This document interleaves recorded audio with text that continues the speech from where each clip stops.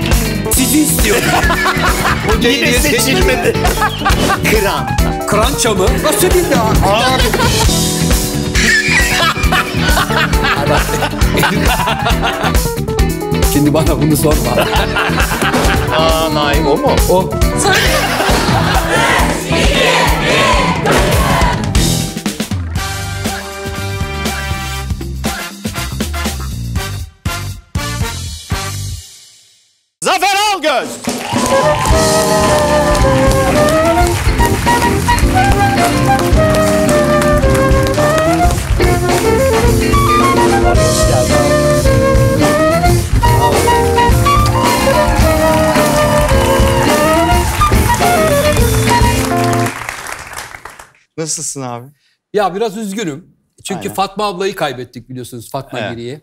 Sevgili Ayberk Pekcan arkadaşımızı kaybettik. O da çok genç yaşta gitti.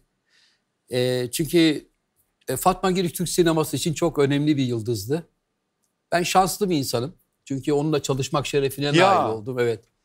Ee, Hasret Ana diye bir televizyon dizisinde beraber çalışma şansı bulduk. Ümit Efekan'ın yönettiği. Fatma Girik bir oyuncudan ziyade gerçekten çok başka bir kadındı. Ruhu şad olsun yani Amin. inanılmaz biriydi. Onu da burada bir kez daha rahmetle anmış.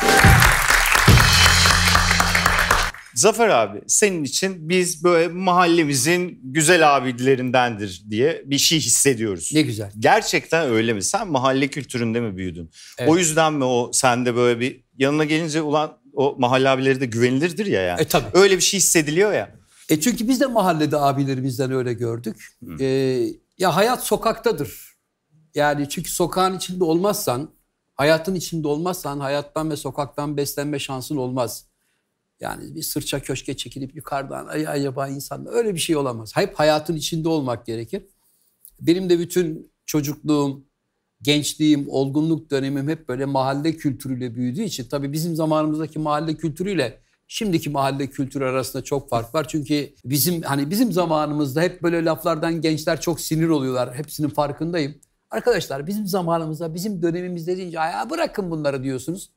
Eyvallah gençlerin de haklı olduğu taraf vardır ama yani bizim mahalle mesela 15 bin kişi ise biz hangi evde kimin oturduğunu, kimin ne iş yaptığını, annesini, babasını, çoluğunu, çocuğunu her şeyini herkes bilirdi. Öyle bir gelenek vardı. Şimdi aynı apartmanda oturan insanlar yıllarca beraber aynı apartmanda oturuyorlar. Altındaki üstündeki adamın kim olduğunu bilmiyorsun. E, bir de eski mahalle kültüründe şöyle bir gelenek de vardı. Mesela mahallede birinin nişanı vardır, düğünü vardır. Eğer mahallede birinin cenazesi varsa o nişan ve düğün 40 gün ertelenirdi. Yani giden kişiye olan saygıdan hem de e, yakınlarını kaybetmiş olan insanlara saygıdan mütevellit e, ertelenirdi. Şimdi öyle değil. Şimdi alt katta cenaze oluyor. Akşamına üst katta nişan yapıyorlar. Kimsenin kimseye ipek salladığı yok. Ama ben Evet. dediğin anlamda evet eski mahalle kültüründen gelen biriyim.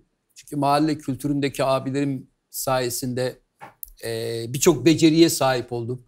Ne bileyim 15 yaşımdaydım mesela. Araba kullanmayı öğrendim hep mahalledeki abilerim sayesinde. E, çok daha küçük yaştaydım. Mahalledeki abilerim sayesinde kayak kaymayı öğrendim. Aa. İşte evet mahalledeki abilerim sayesinde bir takım sportif becerilerimi geliştirme şansım oldu. O anlamda kendimi çok şanslı hissediyorum. İyi biz de şanslı hissediyoruz yani. Eyvallah. Çünkü zaten şimdi kalmadığı için yavaş yavaş anlatılıyor gibi olmaya başladı. Ben E, tabii. bir ucundan yetiştim mahalle kültürüne. Evet. Ama tabii seninki kadar değil abi. Şimdi ailenin Küçük Tilkiler diye bir oyunu izlemesinden Evet. sonra Evet. e, senin kariyer planın başlıyor. Ben başlatmadım da annem başlatmış. Ha evet öyleymiş. Evet doğru. Annemin ben e, ikinci evladıyım. Annemin birinci oğlu Erdinç abim 3 aylıkken vefat etmiş. Aa Evet benden önce Allah bir abim eylesin. varmış. 3 aylıkken o dönemin şartlarında şimdi zehirli ishal olmuş çocuk. Vücuttaki aşırı su kaybından mütevellit 3 aylıkken vefat etmiş. Ee, sonra aradan bir süre geçtikten sonra annem tekrar bana hamile kalmış ama tabii kız mı olacak erkek mi olacak bilmiyor. O dönemlerde e tabii ultrason falan öyle bir şey de yok. Hep böyle koca kara adetleri vardır ya senin karnın armut gibi kesin kızın olacak. Herkes böyle tahminlerde bulunurmuş. Annem de bilmiyor kız mı olacak, oğlan mı olacak diye. Babamla beraber devlet tiyatrolarında Küçük Tilkiler diye bir oyun seyrediyorlar ve oyunda Yalın Tolga diye müthiş bir aktör var. Yani Anthony Hopkins kalitesinde belki de ondan bile çok daha iyi bir oyuncuydu Yalın abi. Yalın Tolga'yı seyretmiş. Annem hayran olmuş. Oyun bittikten sonra babama demiş ki ya benim de demiş eğer oğlum olursa inşallah şu adam gibi aktör olur demiş. Ve kadere bak abi biz aktör olduk. Ee, Yalın Tolga benim hocam oldu. İşte devlet tiyatrolarına girdim. İlk oyunumu yöneten yönetmenim oldu. Sersem Koca'nın kurnaz karısını. Sonra da aradan iki buçuk sene geçti. Yalın Tolga yaş haddinden artık emekli olacaktı.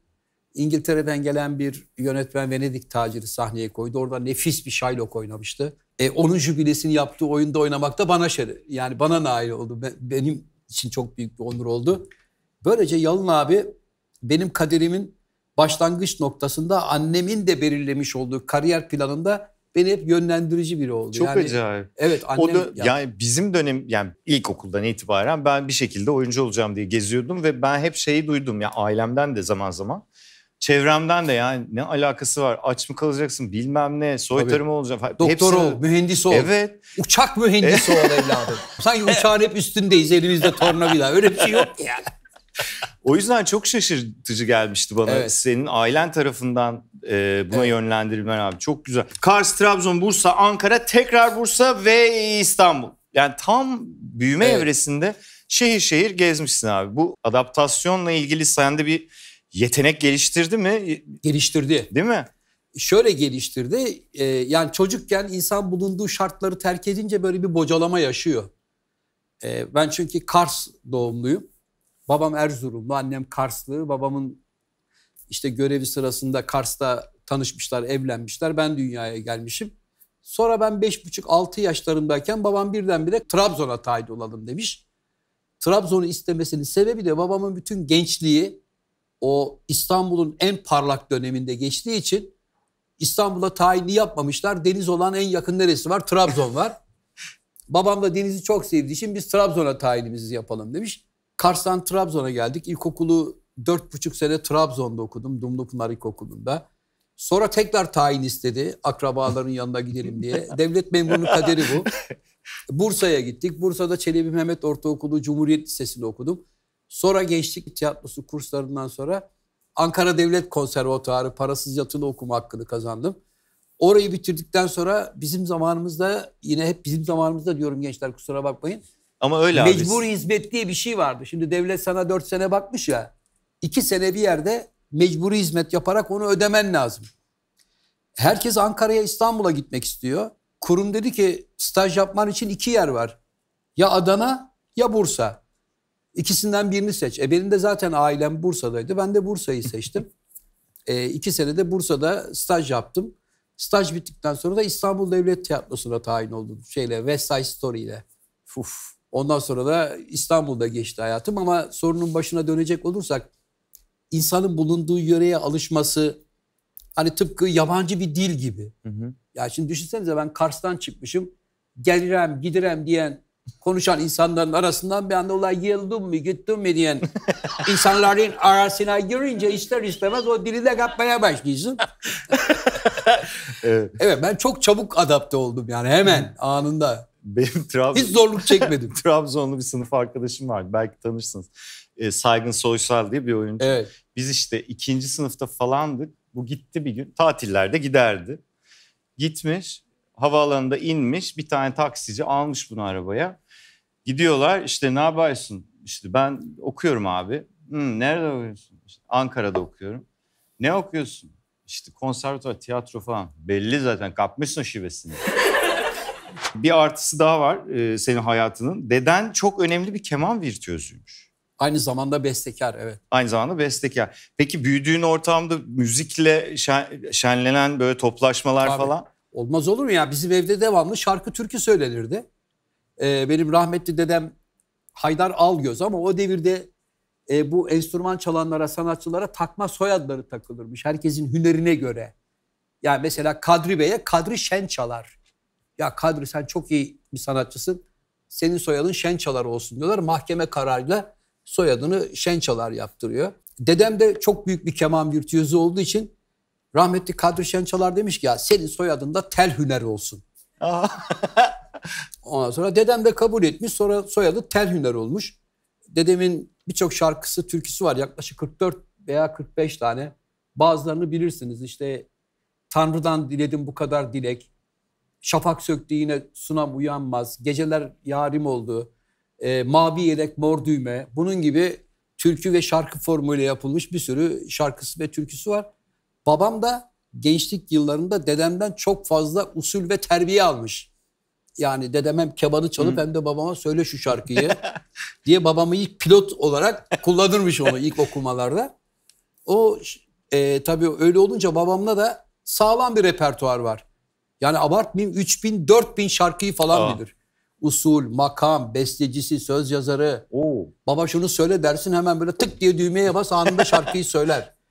Ve ben de babamın sayesinde biraz kulak dolgunluğu oldu. Çünkü babam e, bir devlet memuru ve babamda da böyle bir ehli keyif bir taraf vardı abi. Yani mesela arkadaşlarıyla gider dışarıda oturur mesai sonrası eve gelir işte 2-3 duble rakı içilmiş hemen sofra kurulur tekrar evde böyle bir ufak ufak devam ederken şarkılar türküler başlar. Babam söyler ben de kasnaktan kent taştiz eşlik ederim böyle masanın kenarında. O şekilde arada bana da söyletir tabii. Onların sayesinde böyle bir e, müzik zevki oluştu hepimizde tabii. Peki hiç müzikle alakalı bir şey hayal ettin mi? Hiç hayal etmedim. Hiç. Hiç. Ben dedim ben oyuncuyum abi. Herkes kendi işini yapsın. Ha yok yani küçüklükten beri geliyor o aralar yok, falan. Yok hayır. Bizim küçüklüğümüzde öyle şarkıcılık markıcılık falan pek revaçta meslekler ha, değildi doğru. abi. Doğru. Tabii. Yani biz hep daha çok doktor ol yavrum. mühendis ee, ol. Mühendis ol evladım. Mümkünse uçak mühendisi ol. Hep oralara doğru bizi böyle yönlendirirlerdi. Futbolcu olmak, tiyatrocu olmak, şarkıcı olmak bunlar lanetlenmiş mesleklerdi. Vay Çok kızarlardı yani.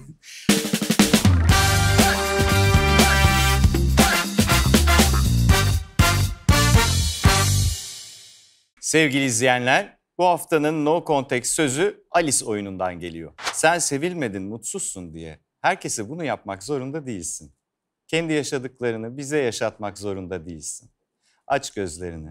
Bir kez olsun bize bak. Düşmanın değiliz. Gör, tanı, sev bizi. Birini sevmek bu kadar zor olmamalı. Ve şimdi ilk haberimiz. Sevgili izleyenler sizlere çalışkanlık, dürüstlük ve yer yer Harakiri'nin diyarı Japonya'dan selamlar ve bir haber getirdik. Japonya'da bir postane görevlisi 7000 gönderiyi üşendiği için teslim etmeyip çöpe atmış. Ardından da tutuklanmış. Bir dakika geciken trenler yüzünden halkın önünde özür dileyip istifa eden tren kondüktörü gibi böyle şov yapılan haberlerden sonra şu haberin Japonya'da yaşanması bize taze hava gibi geldi. Kendimizi iyi hissettik. Nedir efendim öyle her hareketiniz şov? Ayrıca 7000 adet postayı tek postacı nasıl dağıtsın sevgili JTT? 7000 mektup atacak kadar bölge halkı ne yaşıyor ya? Telefonunuz mu yok? Misafirliğe mi gitmiyorsunuz? Kendisini cezası bittikten sonra ülkecek kayıp evladımız gibi bağrımıza basacağımızı buradan duyuruyoruz. Gel bizimle oyna yabancılık çekmez. Efendim haftanın what the fuck açıklaması yine bir siyasiden geldi. Daha önce de hayat pahalılığından şikayet edenlere siz de benim gibi köyden kuzu kestirin. Bakın ben kasaptan et almıyorum diyerek ekopastoral bir yöntem öneren beyefendi gelen eleştiriler üzerine geylerle yılbaşı kutlayanlar beni eleştirmesin dedi.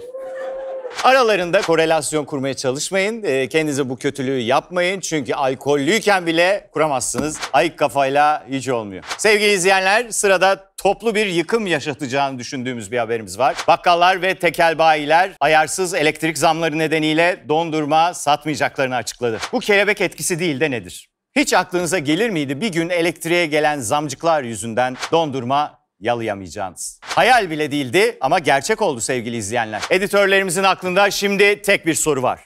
Biz ne yalayacağız? Efendim çiğ süt emme deyimi sıradaki haberle ne kadar evrensel bir olgu olduğunu bize gösterdi. Amerika'da sevgilisine böbreğinin tekini veren kadın sevgilisi tarafından aldatılmış. Kadın adamı affetmiş bu sefer de adam kadını terk etmiş. Yani bir mesaja filan cevap alamayıp kahrolan izleyenlerimiz filan varsa Beter'in Ultra Premium beteri var. Onu göstermek istedik. Beyefendiyi öyle zannediyoruz ki Deccal emzirmiş. Hanımefendiye geçmiş olsun dileklerimizi iletiyoruz. Kim bilir belki de haftaya bir gece yarısı hanımefendinin böbreğini geri aldığına dair bir haberle karşılaşırız. Sıradaki haberimiz hap yutarken zorlanan seyircilerimiz için motive edici olabilir. Hindistan'da bir hapishanede arama yapılırken yakalanmaktan korkan mahkum koca cep telefonu löp diye susuz yutmuş. 10 gün boyunca karnında telefonla yaşamış. Bu mahkum mide ağrısına dayanamayınca hapishane yönetimine gitmiş demiş ki ben telefonu yuttum. Operasyonla telefonu tekrar ağzından çıkarmışlar. Teknoloji detoksu kavramına yeni bir boyut kazandıran mahkuma geçmiş olsun dileklerimizi iletirken yaşanan olayın telefon meraklısı dayılara da örnek olmasını diliyoruz. Efendim bu haftada bir dernek mi? Şimdi yoksa tarikat mı? Neyse artık öyle bir şeyin lideri ya da hoca diyelim hoca hoca ho, hoca. Belki de hem lider hem hocadır tam bilemiyoruz ama işte yani o tür klasik açıklamalardan biri yapılmış. Efendim bu lider hoca demiş ki çocuklara Yağmur, Kaya gibi isimler koyuluyor. Bu isimleri olan çocuklar cehennemlikse isminden dolayı en son cehennemden çıkarılacak. Efendim spesifik olarak Yağmur ve Kaya isimleriyle ilgili bir husumet mi var? Lider hoca bey niye sadece bu iki ismi örnek vermiş bilmiyoruz. Tek dikkatimizi çeken cehennemden sırayla çıkılabiliyor olduğu. Sevgili izleyenler ismiyle bir başkandan ziyade Konya Spor'un devre arası transfer ettiği forvetleri çağrıştıran El Salvador Cumhurbaşkanı Nayib Bukele geçtiğimiz hafta ülkemizi ziyarete gelmiş. Bu ziyaret sonrasında Türk Havacılık ve Uzay Sanayi Genel Müdürü uzay ve havacılık alanlarındaki kabiliyetlerimizle işbirliğine hazırız uydu anlaşmasıyla güzel bir başlangıç yaptık demiş. Gerçekten de uzay ve havacılık denince akla El Salvador ve Nayib Bukele gelir. Çok olumlu olmuş. Tebrik ediyoruz. Ayrıca sevgili Bukele, sosyal medyadan Türk uzay üssü tarafından kaçırıldım. Amerikan başkanı dahil herkesi devreye sokun şeklinde bir paylaşım yaparak uzay konusunda ne kadar ciddi olduğunu dosta düşmana bir kez daha göstermiş. Efendim bu hafta mecliste yerli ve tek milli uydu operatörümüz TürkSat'ın hesapları ele alınmış. Ve 8 yönetim kurulu üyesinden tam 7'sinin çift maaşlı olduğu ortaya çıkmış. Hassas kalpli yöneticinin harman olduğu cennet vatanımızda TürkSat'ın yönetim kurulu başkanı bu konuyla ilgili üzüntüsünü tabii ki bizlerle paylaşmadan edememiş. Çift maaş konusunun sık sık dile getirilmesinden rahatsızım. ABD menşeili Tilki TV'de boy boy resimlerimiz yayınlanıyor. Çift maaşı biz talep etmedik gibi cümleleri arka arkaya dizen Başkan Bey bizleri bilinçlerin akışında sele vermiş. Çift maaş ödenmeyen o tek üyenin dışlanmışlığına mı üzülelim? Fox TV'yi durduk yere Türkçe'ye çevirmelerine mi şaşıralım bilemedim. En iyisi bu saçmalığı romantize edip önümüze bakalım dedik. Belki bizim vergimiz bir şekilde döne dolaşa e, sizin cebinize girmiştir. Olamaz mı? Olabilir. Efendim bu aralar oldukça popüler olan sanatçıya bulaşam, şarkısına, kıyafetine karışam akımı sayesinde bu hafta yepis yeni bir şiir kazandık. Sezen Aksu'nun bir sebepten yazdığı Avcı şiiri internet ortamında kısa sürede yayıldı ve İngilizce, Almanca, Ermenice, Arapça ve İbranice dahil olmak üzere 35'in üstünde farklı dile çevrildi. Pek çok başarısının yanına bu da eklenen minik serçemizi kutluyoruz ve umutsuzluğa alışmıyoruz. E dur bakalım. Hanımlar beyler serbest vuruş bitti.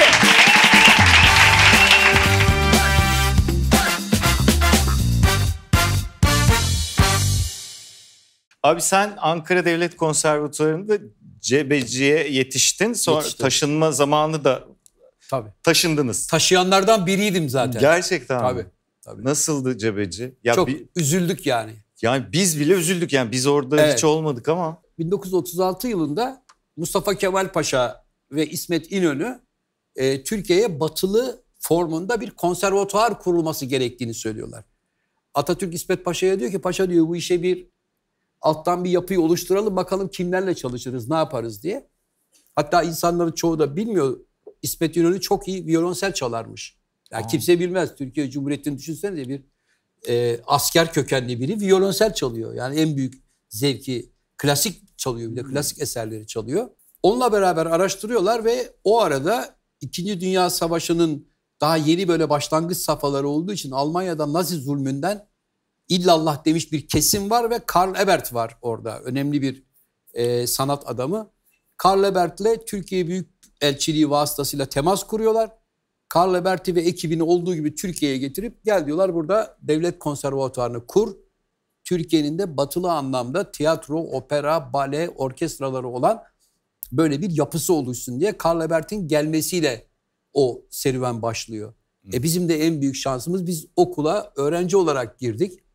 Dolayısıyla o ekolün yetiştirmiş olduğu öğrenciler sonra hoca oldular. O hocalarımız da bizim aynı zamanda hem yönetmenimiz oldular e, hem e, arkadaşımız oldular, abimiz oldular. Dolayısıyla biz onların sayesinde e, Türkiye Cumhuriyeti'nde sahnelere çıkıp bir şekilde kendi mesleğimizi icra etme şansına sahip olduk. Cebeci'deki okulun Evet. e, mimarisi... Onu anlatacağım. Ha, Cebeci'deki okul yukarıdan bakıldığında klasik bir piyanoya benziyor. Öyle düşünmüşler Mamak'takinde. Evet. Sonra devlet konservatuarlarını göke bağladılar. Evet. Göke bağlayınca devlet konservatuarı binasını Beşevler'de İlahiyat Fakültesi'nin yanında yeni, çağdaş, modern, müthiş bir yere gidiyoruz arkadaşlar diye alladılar, pulladılar ve o şahane okulu olduğu gibi oradan taşıyıp Beşevler'e getirdiler. Diyeceksin ki abi iki okul arasında ne fark var? Birincisinde ruh var, öbüründe hiçbir şey yok. Çünkü ruh olan okulda erkekler yatakhanesinde bir 80 kişi uzun bir koridorda yan yana yatıyorduk. E yeni okula gittik. Herkesin iki kişilik odaları var. Bütün bölümler birbirinden ayrı. Kimsenin kimseden haberi yok. Yani şu anlamda çok önemli. Çünkü ben Ankara Devlet Konservatuvarı'na girdiğimde senin de başta söylediğin gibi evde Türk sanat müziği ve Türk halk müziği dinleyen bir kültürden yetiştim. E, konservatuvara bir gittim hiç anlamadığım bir ortam. Koca koca adamlar diye bağırıyor koridorda. Ulan bu adam niye bağırıyor diye bakıyorsun. Sonra arkadaş olup adamın yaptığı işi öğrenince saygı duyuyorsun. Vay be diyorsun lan bu ne kadar zor bir işmiş gerçekten. Ve kendi tiyatro bölümüne giderken burada çalan bir flütten, burada çalan bir violonselden, burada söylenen bir aryadan ya da trompetten, trombondan bir şekilde kulağın doluyor. Ve ister istemez artık klasik müziği sevmeye başlıyorsun. Öğrenmeye başlıyorsun. Arkadaşlarının konserlerine gidiyorsun. Zaman geliyor iyi kötüyü ayırt etmeye başlıyorsun. Abi sen iyi çaldın, iyi çalamadın demeye başlıyorsun. Okulumda her zaman gurur duydum Ankara Devlet Konservatuvarı'yla ama Ankara Devlet Konservatuvarı'nın Cebeci'den Beşevler'e taşınması çok büyük bir darbeydi konservatuvar ekolü için. Biz hepimiz çok üzülmüştük. Ee, hem Hacettepe'nin elemanları hem de biz okulda kalan yatılı öğrencilerle beraber yardım ettik taşınmasına. Düşünsene taşınma anında e, depodan öyle şeyler çıktı ki yani mesela e, Cumhurbaşkanı gelir de konservatuarda birilerine yemek verir diye devletin hazırlamış olduğu Cumhurbaşkanlığı logolu porselen tabaklar vardı. Aa. Evet bardaklar var. Kaşıklar, çatallar, peçeteler onlara kadar düşünmüşler. E şimdi onları kaldırıp kutuya koydukça insan koca bir tarihi alıp bir yerden çok sevimsiz başka bir yere götürüyor, hissi oluşturuyor ve hiç yeni okula gerçekten adapte olamamıştık. Yani çok büyük zorluk çektik. Şimdi zaten o orayı da terk edip Evet. Ankara'nın dağlarında başka bir yerde Beytepe kampüsüne Beytepe taşınmış. kampüsünün Evet. de uzağında. Beytepe şimdi galiba Paris gibi kaldı onun yanında. Öyle mi? Tabii onun da uzağında bir yere böyle Bizim kimsesiz Nazlı uzak bir yere göndermişler. bizim diyor. ekipte şey yeni mezun var. Sen de varsın bir de. 2019 mezunusun sen. Gerçekten? Beytepe neresine gitti ki? Daha Eskişehir'e yakın galiba. Ha anladım. Yani bunlar orada çalacaksa uzakta çalsınlar da burayı rahatsız etmesinler. Bir şey okuyoruz. Evet. Ay Allah. Evet. Peki e, o yaşlarda yani konservatuvar okuduğun yaşlarda meslekle ilgili ne hayallerin vardı abi? Abi şöyle hayallerim vardı. Ben ortaokulda başladı benim bu tiyatro merakım. Beni daha çok okulda öğretmenlerim, annem, babam hep yüklendiler. Sen oyuncu ol, oyuncu ol, oyuncu ol diye. Bana cazip gelen tarafı konservatuarda matematik, fizik, kimya, biyoloji yok. Abi bunlar kesin yok mu? Yok. Tamam. Orada ne eğitim görüyoruz? Mesleki eğitim. Tiyatro oyunculuğu, tiyatro tarihi. Tamam dedim ben aradığım okulu buldum. Artık buraya girmem lazım diye düşündüm ve bütün hayatımı oraya doğru yönlendirdim. Sonra lise ikinci sınıftayken birdenbire pilot olmaya karar verdim. Her erkek çocuğun başına gelir diyorsun. Hep erkek çocukları savaş uçağı pilotu olmak ister. Ama benim idealim savaş uçağı pilotu olmak değil, Türk Hava Yolları'nın kaptan pilotu olmak istiyordum. Çünkü o zamanki prosedürde özel havacılık yasası daha olmadığı için Türk Hava Yolları'nda kaptan pilot olmak için hava kuvvetlerine giriyordun. Hmm. Teğmensin, yüzbaşısın, belli bitmem kaç bin saat uçuşu tamamladıktan sonra kardeş ben emekli oluyorum diyorsun ve direkt Türk Hava Yolları'na geçiyorsun. Ben de onun için e, dedim ki abi benim hava harp okuluna girmem lazım. Annem ayıldı, bayıldı. Ne hava okulu, nereden çıktı? Çünkü o arada devamlı F-104'ler düşüyor. İşte Bandırma'da eğitim uçağı düştü. Şöyle oldu, böyle oldu olunca yine baskı baskı. Oğlum git tiyatrocu ol, tiyatrocu ol. İyi ki de benim üzerimde böyle bir baskı yaratmışlar. Ben de tiyatro oyuncusu oldum. Ama havacılık hevesim bitmedi. Simülatörle devam ettim. Bir iki sene kadar evde simülatörle kafayı bozdum. Baktım ki ailevi huzursuzluğa sebep oluyor. Gerçekten E abi çünkü simülatör gerçek zamanda uçuyor. gerçek Evet zamanda. ya şimdi İstanbul'dan Ankara'ya uçuyorum. 55 dakikaya bağlamışım. 33 dakikada diyorlar ki evden çıkalım. Babacığım benim yani yol, yolculara karşı sorumluluğum var. Aynen abi. Nasıl çıkabilirim? Bazen de uzun uçuş bağlıyordum. Ya mesela birinin doğum gününe gidiyoruz hani yemek memek falan. Hemen bir İstanbul New York uçuşu bağlıyordum. Otomatik pilota bağlıyordum onu. Hadi yavrum hayırlı yolculuklar uçağı kaldırdıktan sonra sabaha karşı mesela 2'de 3'te geliyordum. Neredeyiz diye hemen bakıyordum. Ama çok büyük bir zevk ya.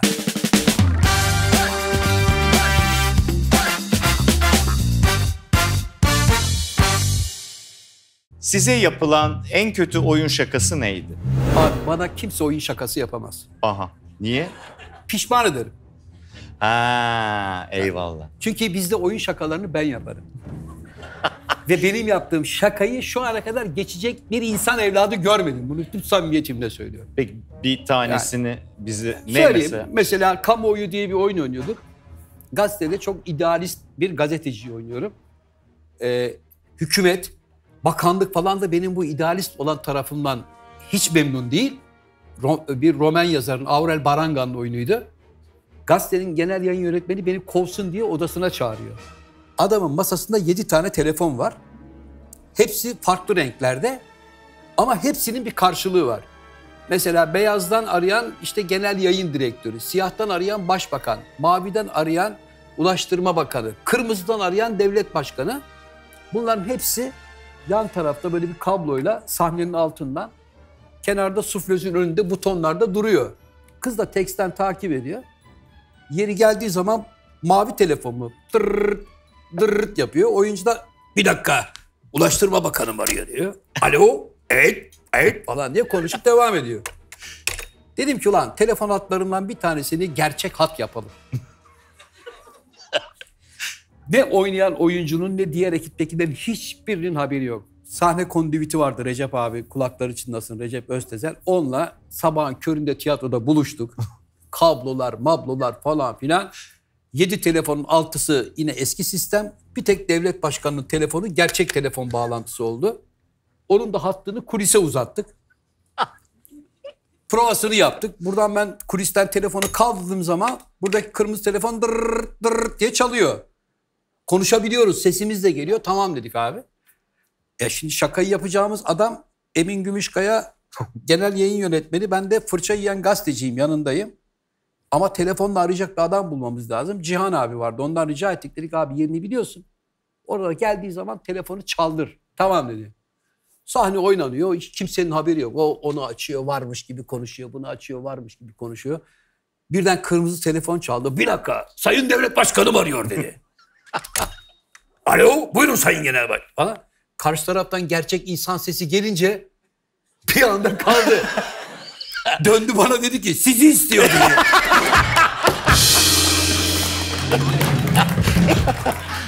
çünkü çünkü tezgah kuranın ben olduğumu anladı ya. Sizi istiyor dedi masanın altına kaçtı.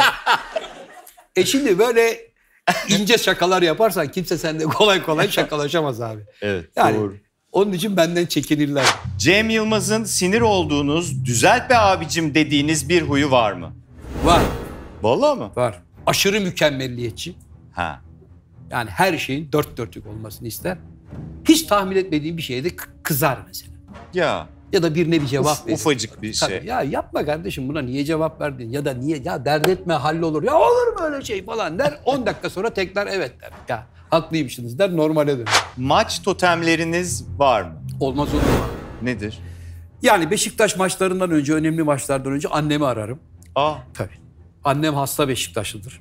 o. Anneme dedim ki ana bildiğim bütün duaları hazırla. Geçen sene sergeni bir annem şampiyon yaptı.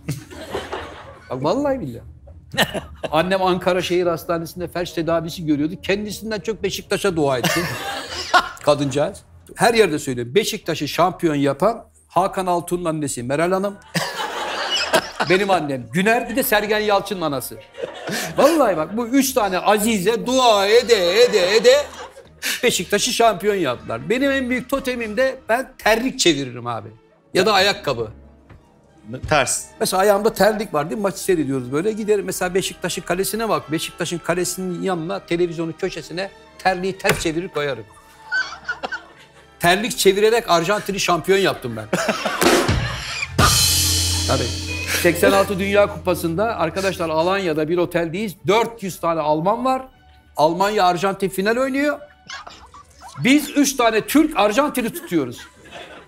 Arjantin bayrağı bulamadığımız için Alanya'da bir çay bahçesinden açık mavi beyaz kareli örtü bulduk. Adam vermiyor lan diyor parasıyla ver. Ne yapacaksınız bunu diyor. Ya Arjantin bayrağı yapacağız ver. Sonunda adam bize kiraladı onu. Yani dedi ki evet. Yani işte üçünü 30 lira veririm ama işte verirsin ama maç bittikten sonra getireceksiniz. Neredesiniz falan. Ya söyledik falan. Abi geldik aynı böyle dev gibi bir salon. Almanlar nasıl biliyor musun? Üç gün öncesinden şampiyonluk şarkılarına başladılar. Otel her taraf Alman bayrakları, Türk bayrakları yıkılıyor. Çoluk çocuk herkeste Almanya forması var. Arkadaşım Remzi, ben, bir de onun kayınbiraderi üçümüz. Tam maç başlayacak geldik. Dev barkovizyon böyle televizyon var. Biz de öne böyle çöktük. Üç Arjantinli Türk.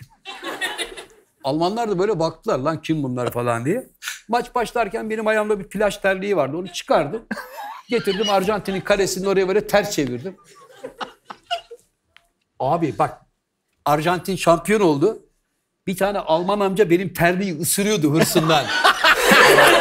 Elimden zor aldım bana ver dedi.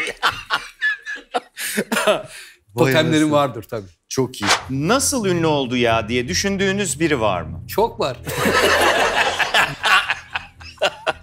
Çok var çünkü yani bizim ülkemizde böyle bir tane şarkıyla, bir tane diziyle, bir tane filmle, bir tane reklamla e, herkesin çok çabuk ünlü olması mümkün. Önemli olan kalıcı olmak, ünlü olmak değil ki. Evet. Artık bir de şimdi şey galiba abi. Artık çok ünlü var. Çok. Yani herkesin... Ben mesela hiç duymuyorum. Ya ve Evet. bilmiyorum. Dedim ki abi gün ben Karaca'ydım herhalde. Şimdi mesela evden çıkacağım evdekiler televizyon seyrediyorlar. Duyuyorum diyor ki ünlü şarkıcı kocasıyla saç saça baş başa geldi. Ulan diyor kim acaba? Bakıyorum tanımıyorum. Ne kadını tanıyorum ne adamı tanıyorum. Nasıl ünlü şarkıcı? Nasıl ünlü oyuncu? Nasıl ünlü manken? Herkese ne kadar kolay ünlü demeye başladık ya. Yani bu herhalde bu, bu dönemin mevzusu. Çünkü her yani ne bileyim işte bir TikTok tayfası var.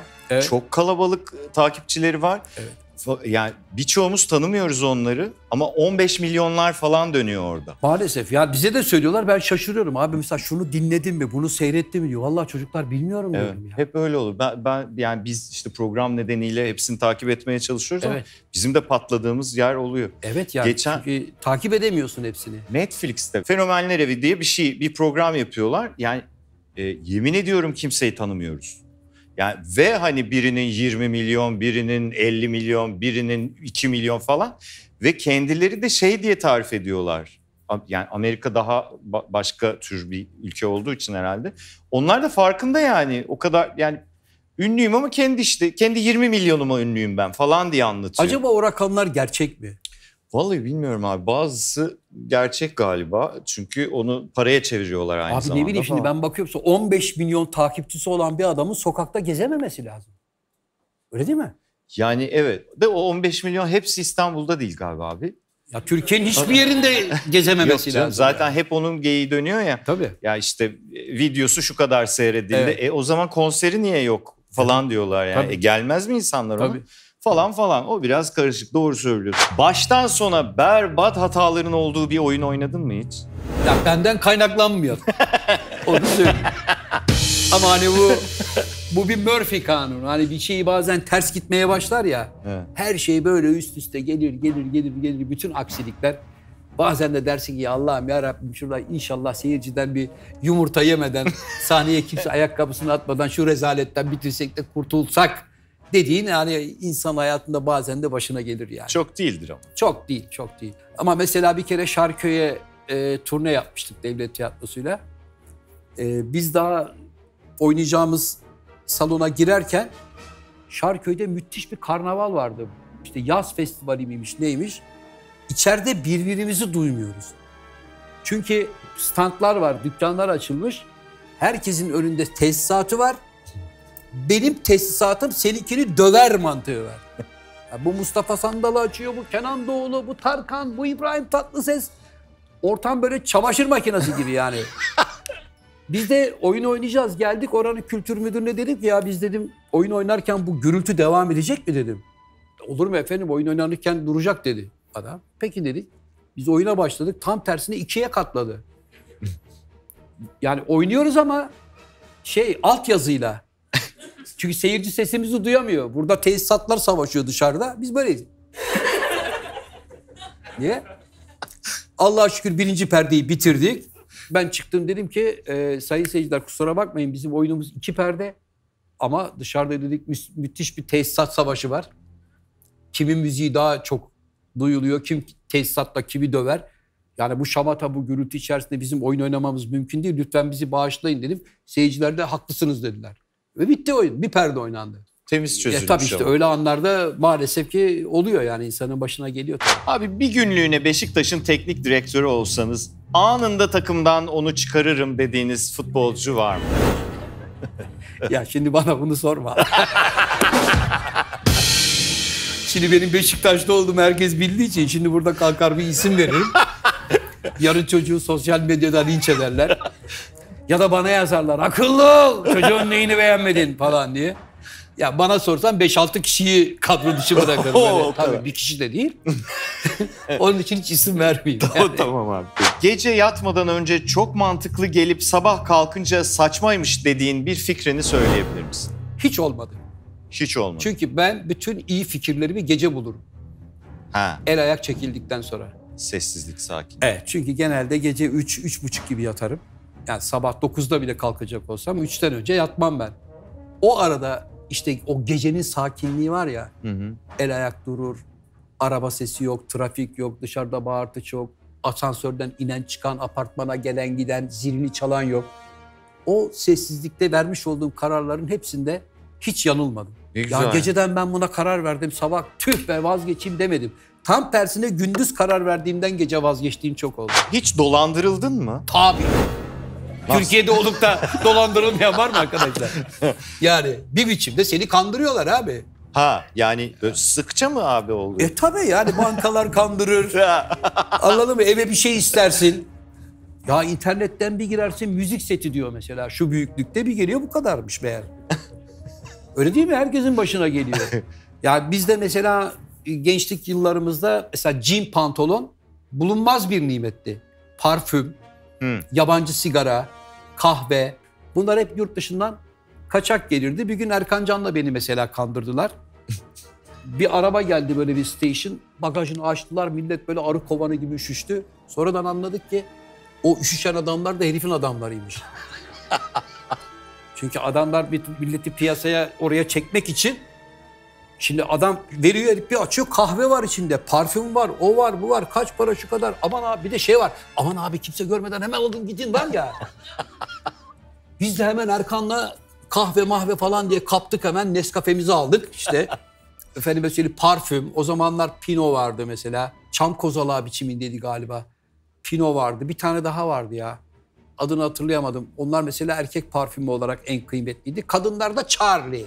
Charlie'nin melekleri vardı ya. Evet. Bütün kadınlar Charlie kokardı Türkiye'de. Valla annem, kardeşim, bütün akrabalar. Kadınların hepsi Charlie kokardı. Erkekler de Pino kokardı.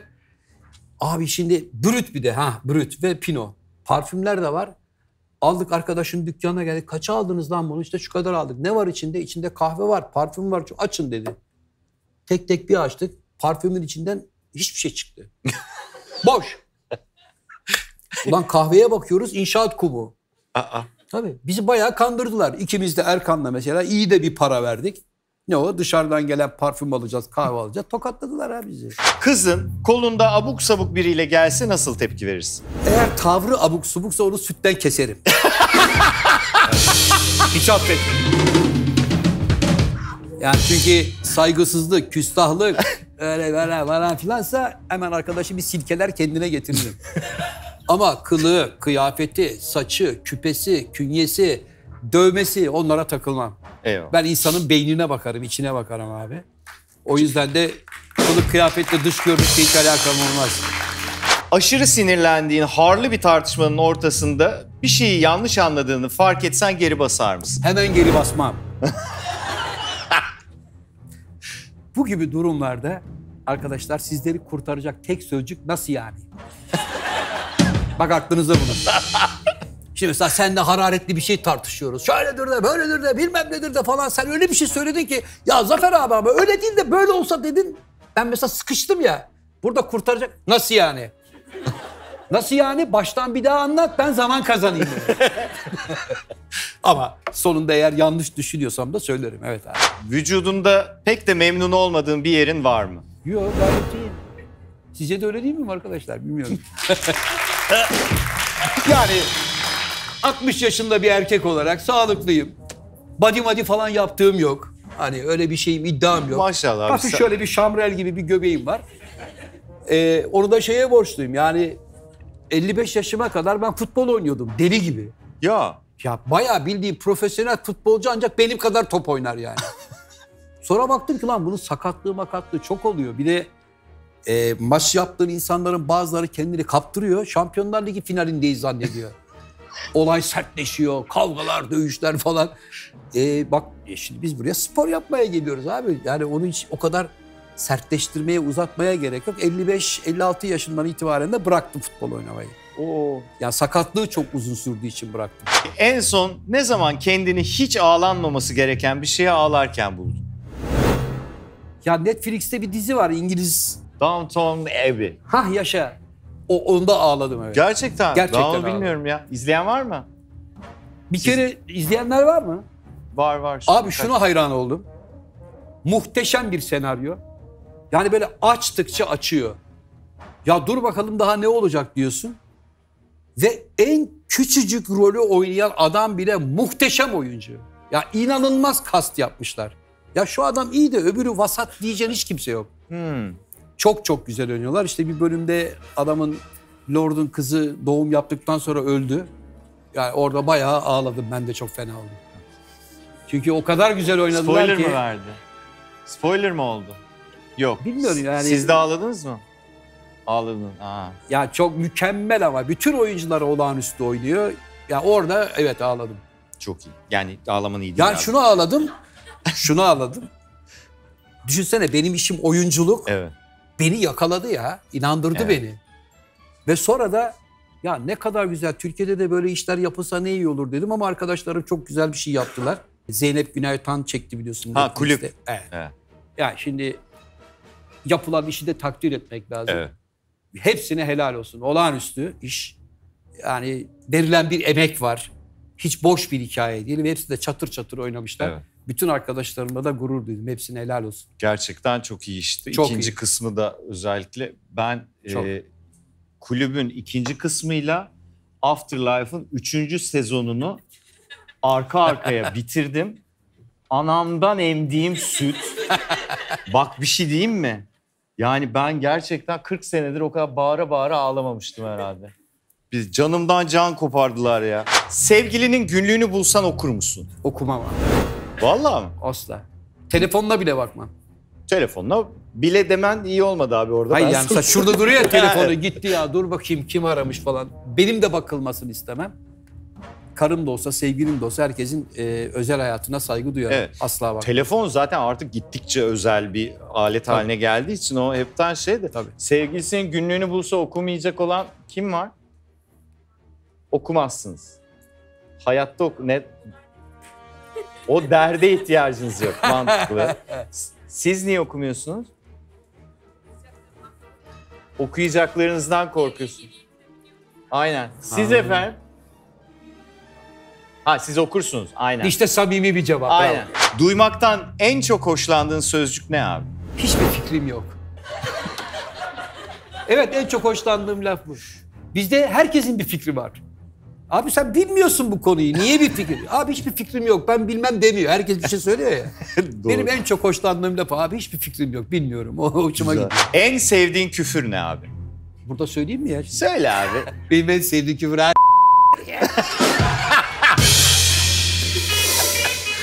Ama onu zaten ya çok onu iyi söylüyor. yerinde kullandığı zaman çok rahatlatıyor. evet. Yakın çevrendekiler bir şeyinden şikayet etse hangi özelliğinden şikayet eder? Bazı ufak tefek şeyleri kafaya takmamdan şikayet ederler. Öyle? Çok mu Evet. takıyorsun? Ya şöyle takarım. Ben haksızlığa tahammül edemem. Aha. vicdansızlığa tahammül edemem. O yüzden de mesela birine bir haksızlık yapıldığı zaman görürsem ona kafayı takarsam ya tamam abi geçti o iş falan ama geçmez. Benim hep bir yerde kafamda takılı kalır o. Gördüğünde gözünü alamadan dakikalarca baktığın bir şey var mı? Var. Nedir? Bebekler. Ya Evet. Çünkü e, bebekleri çok severim. Bir de ayrıca e, dünyanın en büyük sinema ustası Charlie Chaplin'in bir hayatını okumuştum bir kitapta. Orada Charlie Chaplin diyor ki dünyanın en büyük oyuncusunu bile getirseniz tek planda 20-25 dakika kimseye seyrettiremezsiniz.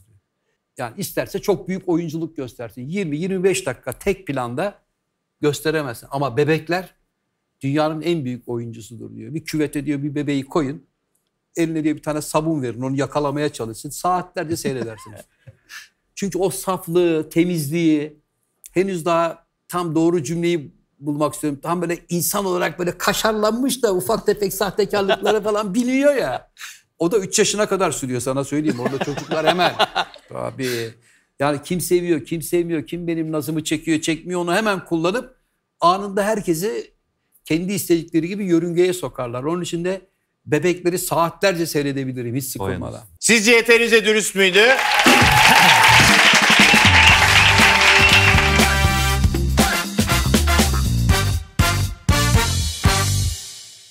Abi sen aynı zamanda devlet tiyatrosunda müdür yardımcılığı yapmışsın bir dönem. 5 sene.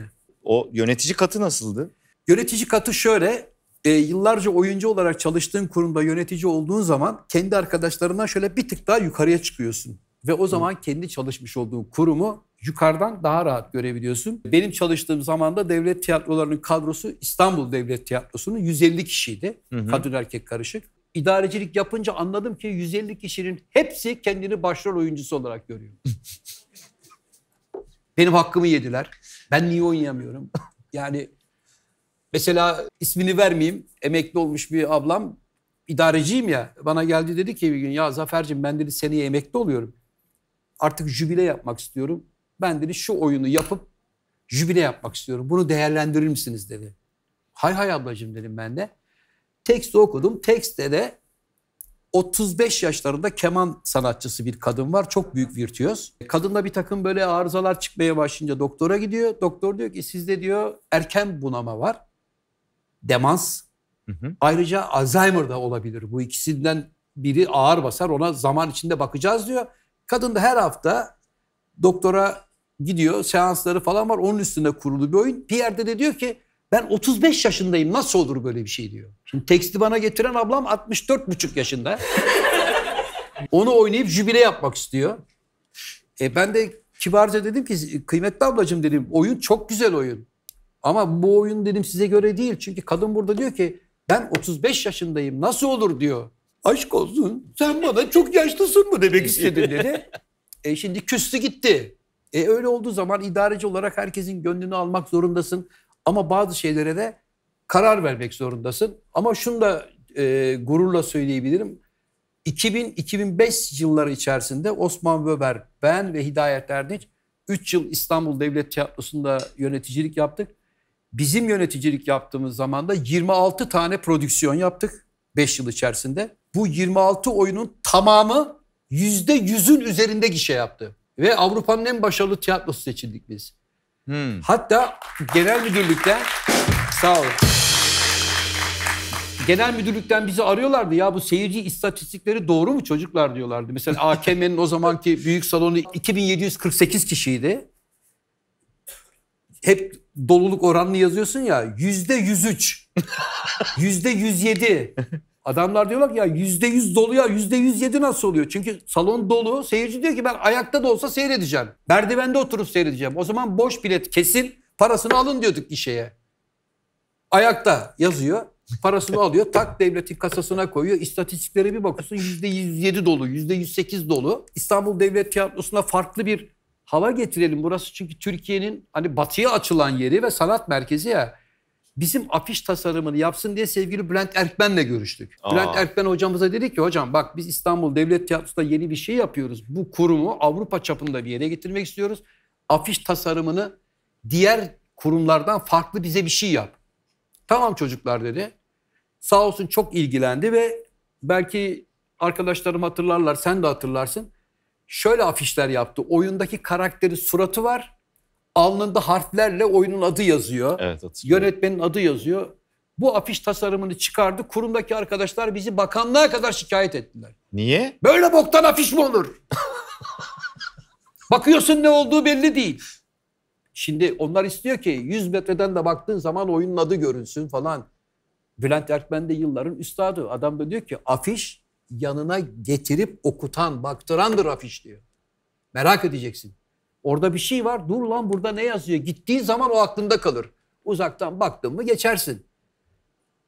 Abi Ankara'dan soruyorlar bu afişlere şikayet var bilmem ne var. Ya dedik biz üstadımızın arkasındayız karışmayın. Sonra da ne oldu? 6 ay sonra Çekoslovakya'da bu işin Oscar'ını kazandı yaptığı afiş tasarımı. Gerçekten Evet.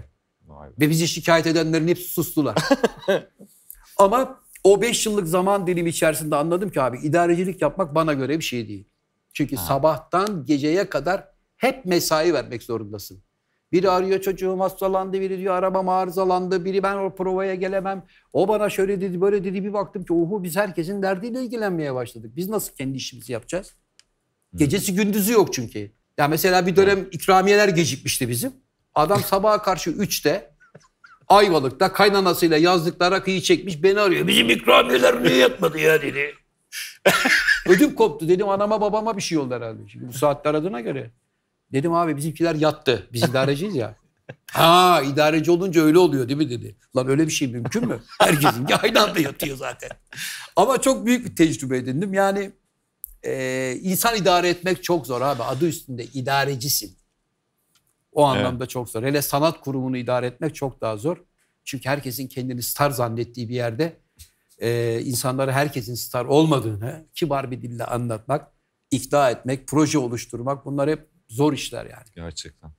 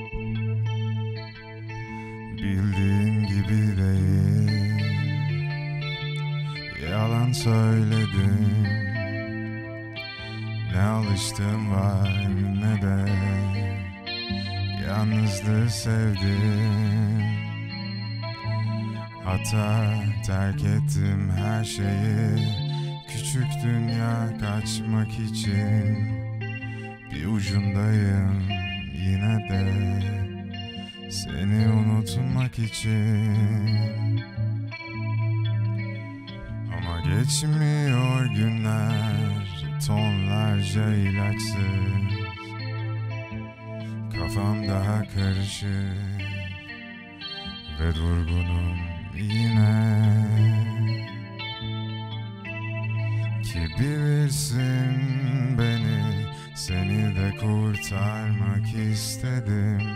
Nerede sakladın bu öfkeyi bana Ben? Bunu hak etmedim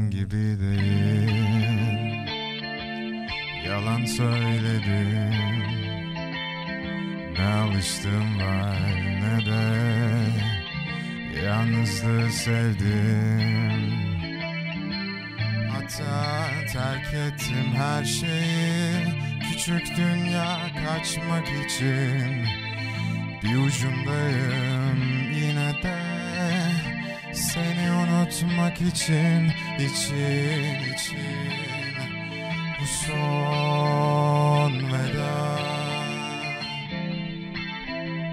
Bu son şarkı sana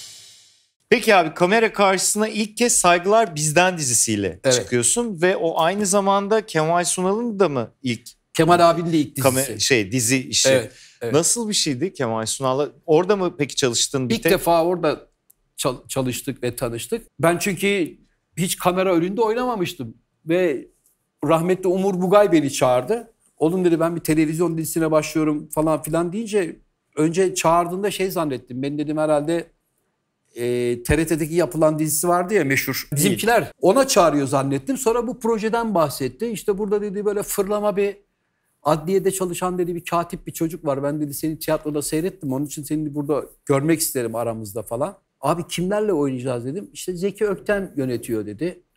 Başka kimler var abi? Kemal Sunal, Tuncer Necmioğlu, Savaş Dinçer adam saydıkça benim çişim geldi korkudan. dedim abicim tamam ben evet varım falan dedim. Sonra işte okuma provaları falan filan kamera önüne yavaş yavaş çıkmaya başlayınca Kemal abiyi kendime yakın gördüm. Sağ olsun o da beni çok rahatlattı. Dedim ya Kemal abi ben çok heyecanlanıyorum. Çünkü dedim ben hayatımda ilk defa dizi yapıyorum dedim. Oğlum ben de ilk defa dizi yapıyorum ben senden de heyecanlıyım lan dedi.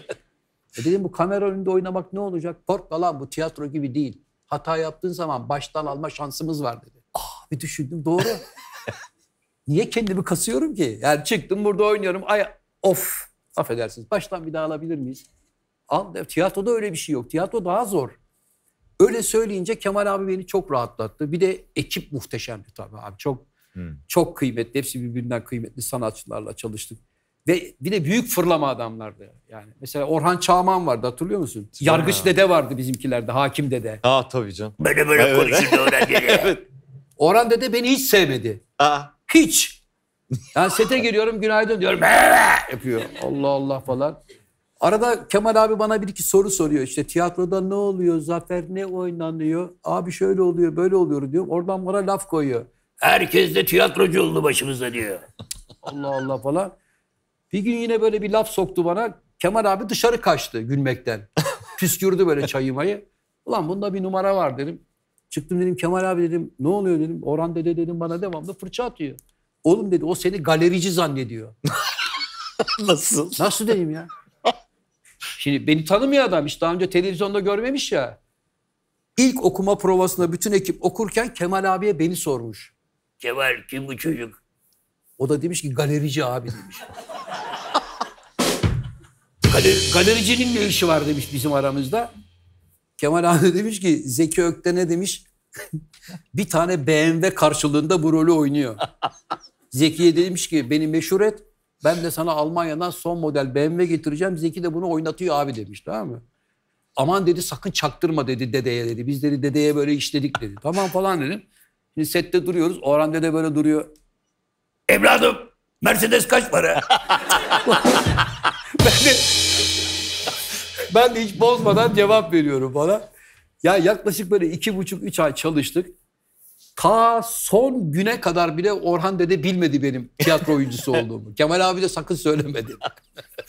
Ama müthiş bir deneyimdi. Çünkü bu adamların hepsi gerçekten kendi dallarında e, inanılmaz adamlardı. Yani hiçbir kompleksi olmayan, samimi, dürüst, iyi oyuncular, iyi insanlardı, iyi adamlardı. Ben Kemal abi o anlamda çok minnetle ve saygıyla anıyorum. Çünkü ya tamam tiyatro sahnesinde defalarca sahneye çıktım ben çocuk denecek yaşlardan itibaren ama ilk defa kamera karşısına o kadar kıymetli oyuncularla Zeki Ökten gibi bir yönetmenle çıkmak çok daha gergin olmam gereken bir durumdu. Beni çok rahatlattılar sağ Yani olsunlar. bir de hani şimdi bizim için böyle bir sürekli bir sektör haline geldiği Evet. için o zamana göre Tabii. bizim için yine daha kabul edilebilir bir heyecan Elbette. seviyesi ama oradaki isimleri biz yani Allah rahmet Elbette. eylesin gani gani biz görsek zaten biz de titremeye başlarız. Elbette yani Bütün mesela Kemal abiyle e, Sultanahmet'te tarihi Sultanahmet köftecisi vardır. Bir gün Evet. dedi ki çok yakındı bizim çalıştığımız yere. Ya gel bir köfte ısmarlayayım sana dedi. Biz beraber köfteciye gittik. Daha oturduk dükkanın önünde 500 kişi geldi. Böyle camlara yapıştılar Kemal Sunal'ı görmek için. Kemal abi burada, burada 500 kişi var camlarda. Arka mutfak kapısından kaçırdılar Kemal abi. Ben beni kimse tanımadığı için ben yedim köftemi.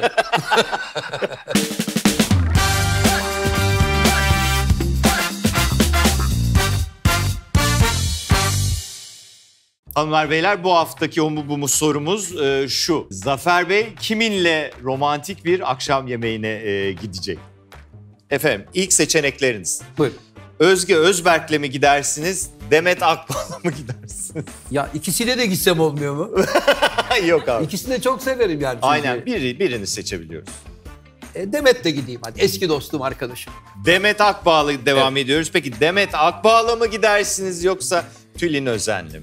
Tülin Özan'da e, Can Yılmaz'ın biliyorsun oyuncu koçu. Ya Yani Can Hoca'yı elleriyle çalıştırır devamlı. gerçekten mi? Tabii. Aa, hiç bilmiyordum bak. Onların öyle bir Cihangir ekolü şeyleri var. Bana çocukluğunu anlatır mısın falan diyor ya. Adam iki tane lafı var orada. Ne çocukluğunu anlattırıyorsun? Çocukken kaybettiğin bir oyuncağın var mı? Onu böyle alnında düşün. Nefes al falan.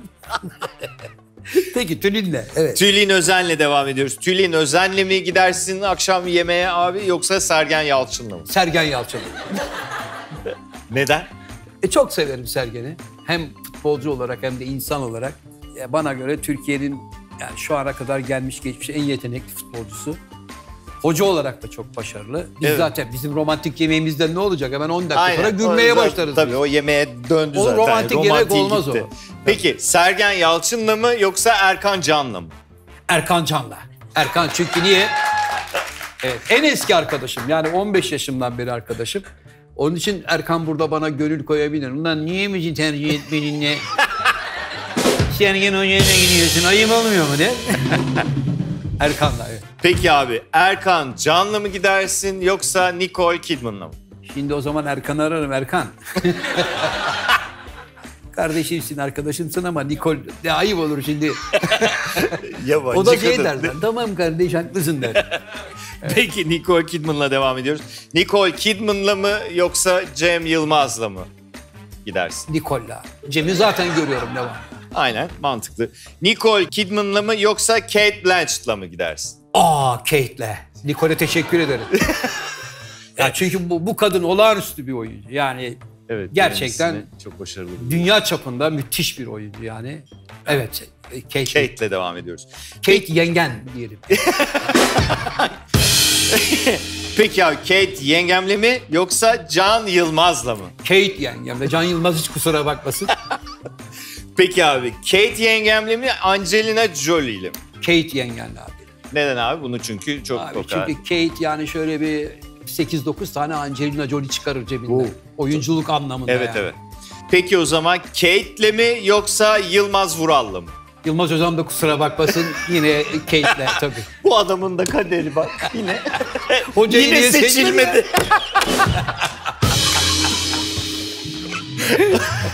Ay Allah. Peki Kate yengem mi yoksa Margot Robbie mi? Kate. Kate. Kate'de ısrarlıyım. Kate arkadaşlar. evet Kate'le gidiyoruz. Kate e, hanım mı Hakan Altun mu? Hakan'cığım kusura bakma yani. Hakan da canım ciğerimdir. Çok sevgili kardeşimdir. Çok severim ama o da bana anlayış gösterecektir. Peki. Hakan'cığım Kate yengenle özel bir sorunlarımız var. Konuşmamız lazım. Dersem gereken anlayışı gösterir zaten. Peki abi o zaman Kate e, hanım mı Meryl Streep mi? Aa, şimdi burada abi yine Kate be. Valla. Vallahi yine Kate. Doğru. Doğru. Doğru. Peki abi. Kate e, yengem mi Zerrin Tekin doğru mu? Zerrin de arkadaşım. Sınıf Evet. arkadaşım benim. Evet, ayrıca. Çok da severim. Ama şimdi Zerrin'e desem ki Zerrin akşam bir yemeğe var. Acaba Kate'i mi davet edeyim yoksa seni mi? Bir kişiye yani. Kimi falan "Aa, tabii ki Kate Zaferci. Biz nasıl olsa görüşürüz der. Tabii O anlayışı öyle. gösterir yani. Peki Kate e, hanım mı Monica Bellucci mi? Abi yine Kate. Kate. Ha, kaldık. Kate'de oturduk biz. Kate hanım mı Jason Momoa mı? Bununla gidip kendini yedirtebilirsin abi. Yine Kate tabii. Yine Kate. Bu ayı yine seçilmedi. Kate mi Dembaba mı? Kate. Kate. Dembaba'yı da severim ama yani Kate tabii. Kate Hanım mı Yılmaz Erdoğan mı? Kate. Tamam. Kate Hanım'la devam ediyoruz. Kate Hanım mı Charlize Theron mu? Yine Kate. Aynen abi. Neden biliyor musun? Yani hem güzellik hem de yetenek olarak tartıyorum. Şimdi kadınların oynadıkları rollere bakıyorum. Şöyle bir bandı geri alıyorum. Lan bu neler oynamıştı diye bir de öbürüne bakıyorum ama yani Kate çok farklı bir kategoride. Evet. Yani bayağı son dönemde çok özellikle farklı. çok farklı şeyler yaptı. Peki Kate mi Çağlar Çorumlu mu? Ay canım Çağlar'ım. Çağlar'ı da çok severim. Evet. O da bana diyecektir abi sen. Saçmalama Kate. Kate abi. Kate elimizde patladı gibi görünüyor ama. Kate mi yoksa Dua Lipa mı? Bunun da oynadıklarını mı düşünüyorsun? Abi şimdi düşündüm de yok yine Kate. Kate'ten yana hep. Kate mi e, Özkan Uğur mu? Kate. Özkan abi de bak bana hak verir. Aynen. Ne evet. amca benim yine kardeşim beraberler. Peki. Bana hak verir. Kate mi Scarlett Johansson mu? Vay şimdi. Ama yani burada pislik yapmışsın. Scarlett'in memeleri mi? Evet yani burada biraz böyle bir tahrik kalıbı kullanılmış. Evet. Ama Biz de- buna rağmen Kate diyorum. yine. Buna rağmen Israrla. Kate. Israrla. Peki e, Kate mi Cengiz Bozkurt mu? Tabii ki Cengiz. Tabii. Harbi mi abi? Yok ya tabii ki Kate. Kate. O zaman Kate'le gidiyorsunuz yemeğe. Hayırlı uğurlu Eyvallah. olsun.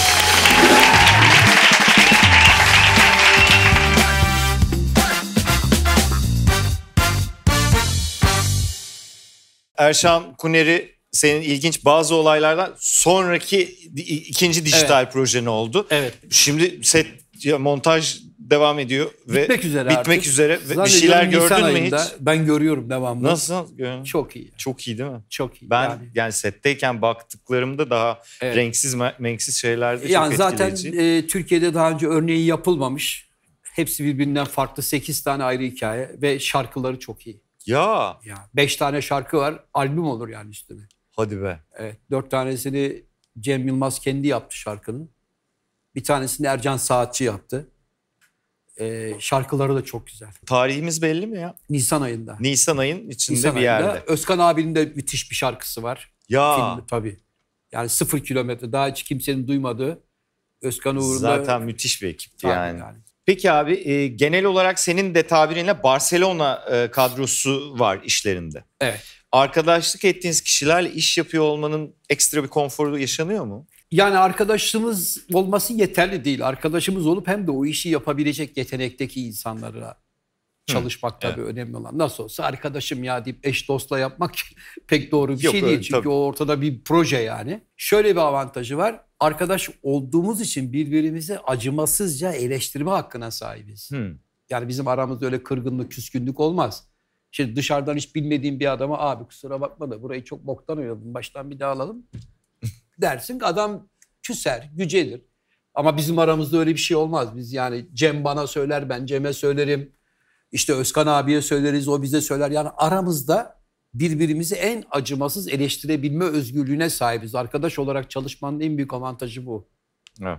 Çünkü normalde şöyledir biliyorsun. Setlerde senin programın asılır. E, haftanın üç günü senin işin vardır. Dört gün boşsun. O ara başka şeyler çekilir. Ama bizde hep işte o çekirdek kadro kendi işinin olmadığı günlerde de orada. Yani başkalarının da sahnesine, başkalarının da çekeceği bölümlere müdahil olmak için aman bir yanlışlık olmasın, aman yapacağımız iş daha iyi olsun diye. e, o anlamda arkadaş olmanın da böyle bir avantajı da var Doğru. gerçekten. Evet.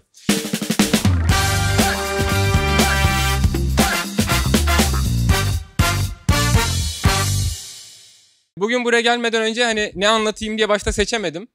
Daha sonra dedim ilham olsun diye burada çıkmış tüm stand-upçıları izleyeyim daha önce.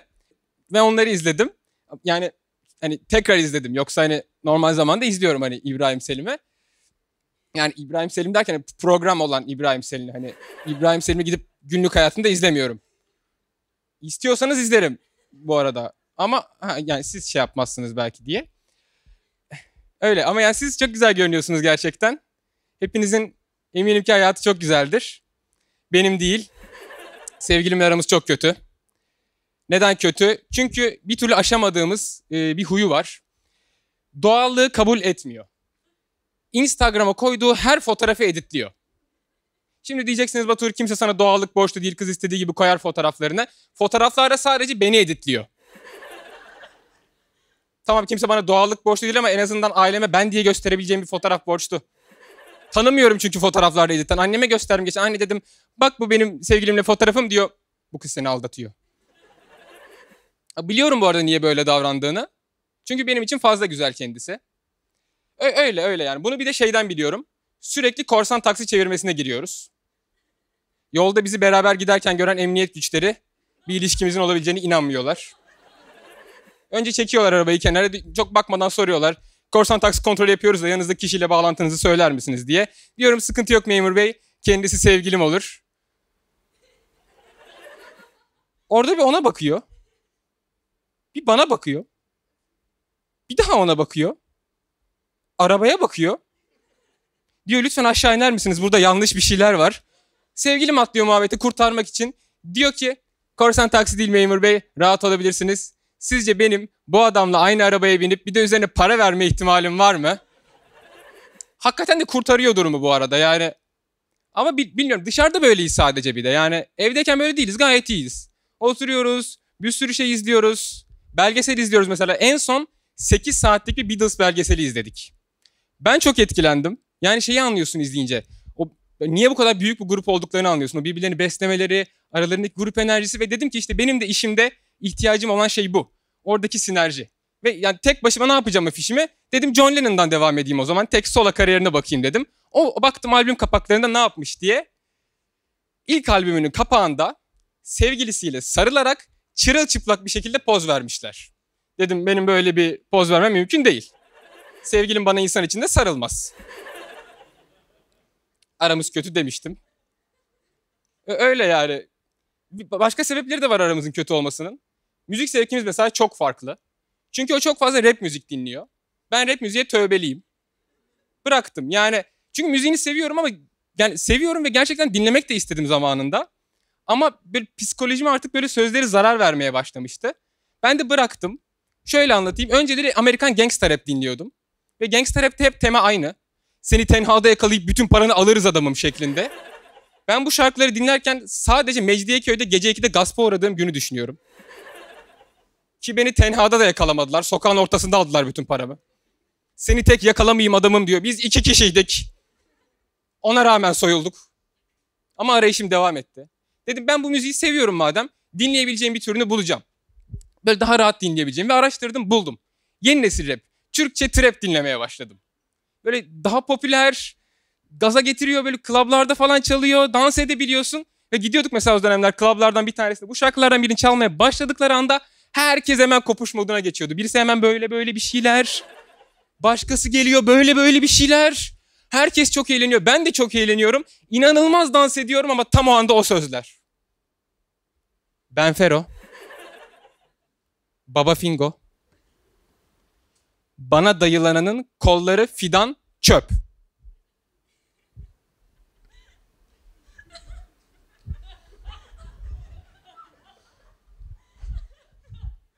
Teşekkür ederim. İyi akşamlar. Ben Batır Özkan.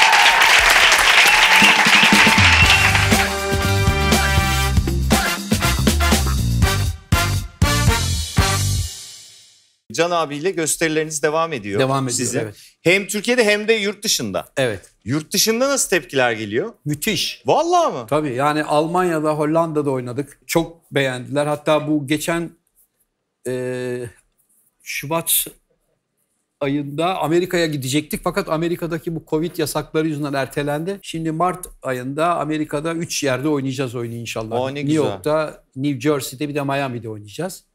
Onun dışında Türkiye'de turnelerimiz devam ediyor. En yakın gösteri ne zaman? En yakın gösterimiz Şubat ayında Denizli'de ve Eskişehir'de.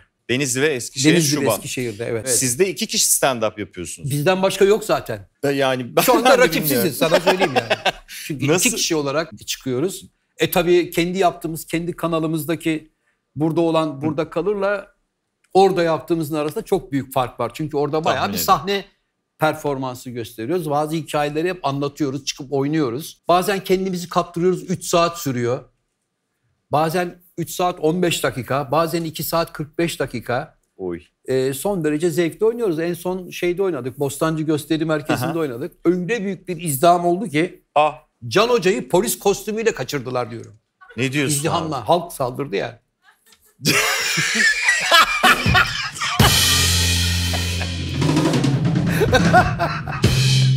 Son tiyatro oyununu e, 2012 yılında oynamış münasebetsiz Yok değil. diye görünüyor Wikipedia'da. Yanlış. Vahşet Tanrısı. Ay tabii canım. Evet, vahşet İstanbul tanrısı. Devlet Tiyatroları'nda Vahşet Tanrısı oynadık. Aynen. Ülkü Duru, Zerrin Tekindor, İşler Gökseven ben. 365 oyun full oynadık. Çakılı. Evet biliyorum. Sonra Zerrin Tekindor Devlet Tiyatrosu'ndan emekli olunca ya onun rolünü oynayacak biri var mı dedik. Tiyatroda da en tehlikeli şey başarıyla oynanmış bir role ve ekibe sonradan gelip dahil olmak çok zor iştir. Onun için kimse o yükün altına giremedi. Giremeyince oyun kaldı. Şimdi arkadaşlar oynuyorlar bir yerlerde Galiba evet galiba. geç, geçtiğimizde pandemi öncesinde hemen bir girmişti Evet. zaten değil Ama mi? iddia ediyorum bizden iyi kimse oynayamaz. Tahmin ediyorum ekibi Samimi sayınca. söylüyorum hiç tevazu yapacak durumda değilim yani. Peki abi. Peki Cem Yılmaz'la yaptığınız birbirinden güzel işleriniz var. Hem dostunuz hem iş arkadaşlığınız nasıl başladı? Ee, zannediyorum böyle 2007 falandı galiba Antalya Film Festivali'nde e, orada tanıştık Cem'le. Daha doğrusu ben Cem'in zaten gösterilerini Hı hı. falan biliyordum. Ama şahsi bir tanışıklığımız yoktu. Antalya Film Festivali'nde daha fazla beraber olma şansına sahip olduk. Orada dedi ki abi dedi ben yani senin dedi benim bir- birçok oyunumu seyretmiş Cem. Sen hatırlamazsın o zaman bana pek yüz vermemiştin dedi. Halbuki hiç hatırlamıyorum böyle bir şey olduğunu. Şakaymış meğer. AKM'de biz tanışmışız zamanında Cem'le. Tebrik etmiş falan beni. İşte benim sinema filmlerinde benimle çalışmak ister misin? Ha ben çok mutlu olurum seninle çalışmak dedi. Ben de seninle çalışmaktan mutlu olurum dedim. O şekilde başladık Cem'le. İlk defa Arok filmiyle başladık. Hmm. O zamandan beri de hala filmlerde ve dizilerde devam ediyoruz. Beraber Can abiyle de Cem abiden Tabii, sonra tabii. tanıştınız. Aynı dönemde Aynen, oldu zaten. beraber. Evet.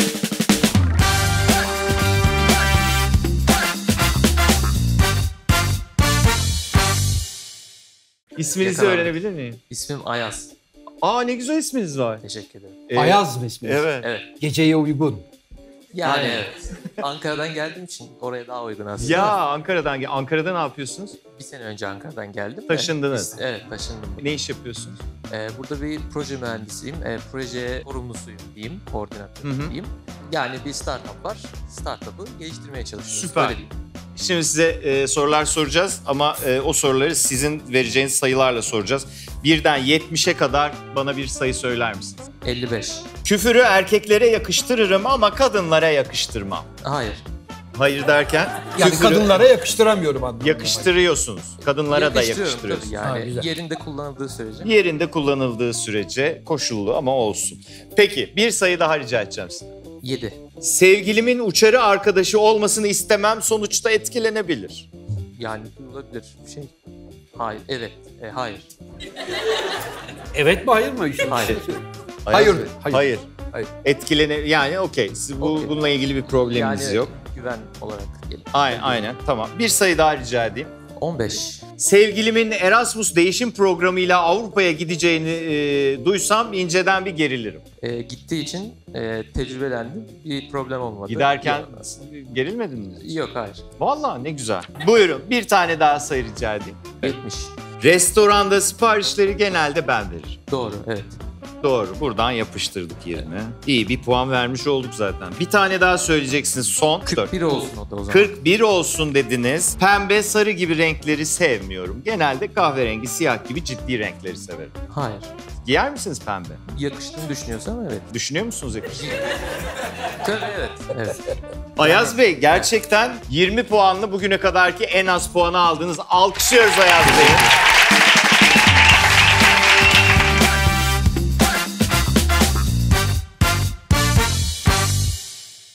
YouTube kanalı açmanız böyle bir sizin ofise gidip Evet. YouTube diye bir şey var ya falan diye Yok öyle değil. girmenizle olmuş Zaten gibi bir... YouTube diye bir şey olduğunu biliyorum. Yok yok öyle değil yani oraya bir şey yapmamız lazım. Evet. şimdi. Evet. Biz bu işi radyoda mı yapalım falan filan diye başladık. Sonra ben dedim ki niye radyoda yapıyoruz ki? Kendi YouTube kanalımızı açalım. Artık devir o devir. Görüntülü olarak bu işi yapalım dedim. Sağ olsun Can Hoca başta bir itiraz etti. Ya abi falan filan. Bizi de YouTuber'lar gibi harcamasınlar, parçalamasınlar. Ya orada önemli olan yapmış olduğun e, program. Neticesinde Evet. insanlara ne anlatıyorsun, ne veriyorsun yani. Elbette biz de YouTube'da kanalda yani çocukları e, kendi kanalımıza abone edelim diye oturup talaş yiyip birbirimizi tokatlayacak halimiz yok. Onun yerine efendi efendi kendi yaşadıklarımızı, kendi gözlemlerimizi yaparız dedik. İyi ki de öyle yola çıkmışız. Bak oradan da kendi yapmış olduğumuz programı sahneye çıkardık. İşin adı da e, burada olan burada kalır ya. Evet. Neyi kesiyorsunuz? Mesela ne kalıyor orada? Hiçbir şey kesmiyoruz. Ha, Çünkü biz doğaçlama yapıyoruz. evet. Ee, memlekette ne oldu diyorum mesela Can Hoca'ya. Tabildot'ta ne var? Abi işte akaryakıta zam olmuş, doğalgaza zam olmuş. Şurada şöyle bir haber var, burada şöyle bir haber var. Sende ne var? Ben benim de bildiğim şu, şu şunlar var deyip 3-2-1 kayıtla beraber başlıyoruz. Baştan sona kadar gittiği kadar dolduruyoruz. Yapıştırıyorsunuz. programı. Evet yani Aa. çünkü keselim ay burayı atalım falan diyecek bir şey de olmuyor Allah için yani. Hmm, Yani çünkü bayağı evde sohbet eder gibi sohbet ediyoruz. evet. Ee, o anlamda bizi hiç zorlamıyor yani. Ya burayı söylemeseydik hay Allah o bölümü çıkar şu bloğu at değil. Sadece biz programı çıplak olarak yapıyoruz. Sonra çocuklar onu tekrar aktarırken konuştuğumuz insanlarla, konularla ilgili arkaya resim Görseller. oturtuyorlar. Görsel Ha, takviye o kadar. yapıyorlar. Evet. Bir de jeneriği koyuyor tabii.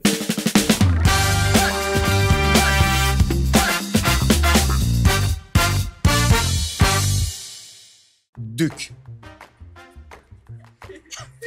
Dük. Düdük, No. Tek. Dük. duş, Aa, yok. Dük. düdük, No. Yarısı. Dük.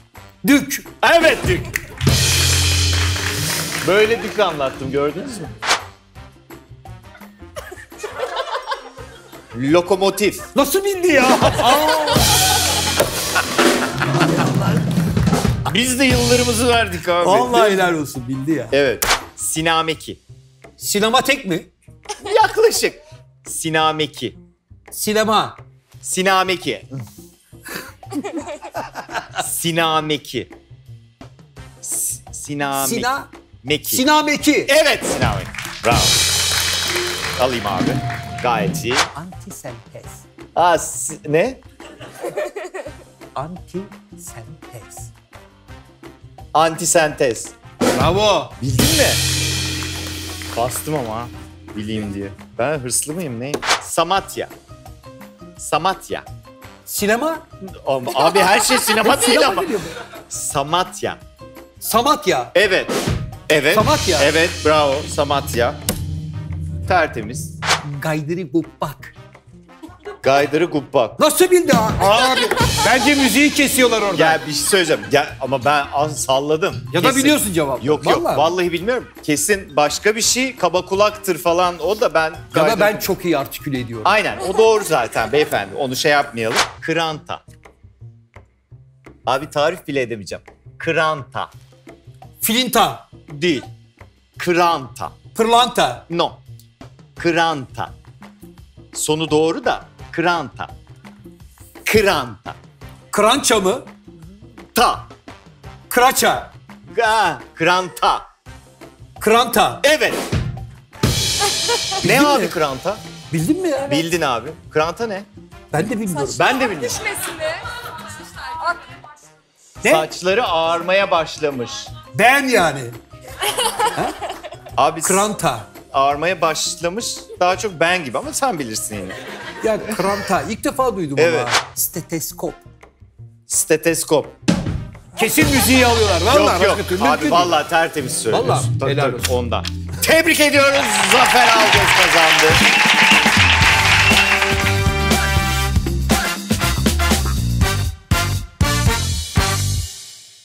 Abi bir de senin anılarını anlattığın iki tane kitabın var. Evet. Ben ilkini, Haşır the Blackboard ilki yanılmıyorsam, e, onu metrobüs kitabı olarak bitirdim. Zannediyorum iki günde falan bitti yani. iki kere gittim geldim ve bitti. Evet.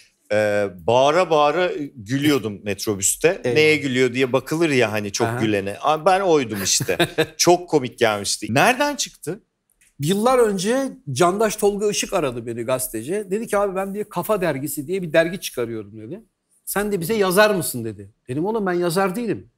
Yani, yani nasıl yazacağım? Günlük mü, haftalık mı? Yok dedi bu aylık dergi olacak dedi. E kimler var dedim yazacak. İşte dedi Ataol Behramoğlu var. Ondan sonra Sunay var. İsimleri bir saymaya başladı. Ya dedim dediğin adamlar hepsi bayağı yazar adamlar. Abi sen serbestsin dedi. Bize anlattıklarını yaz yeter dedi. O vesileyle Kafa Dergisi'nde yazmaya başladım. Sonra Kafa Dergisi'nde yazılanları kitap yapalım dediler. E, kitap yaptık. Sonra da kitapta yapılanları tekrar Kafa TV'de bize canlı performansla anlatır mısın dediler. Benim de Kafa TV'ye öyle bir şıklık olsun diye yaptım onları. İşte birinci kitabım dediğin gibi Haşırt the Blackboard, öbürü Cash on the Table. Şimdi de Mart ayının sonuna doğru inşallah üçüncü kitabım çıkacak. Onu da Ana anlatsın. bitirdim evet onu da bitirdim. Oh ne güzel. İşte yakında İnkılap Yayıncılığa vereceğim onu da. Üçüncü İyi kitabım hayırlı olsun abi. Sağ olasın. Teşekkür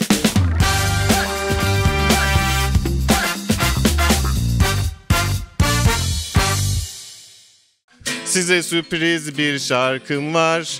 Uzun değil, kısa ve öz. Daha başlamadım buralar ön söz.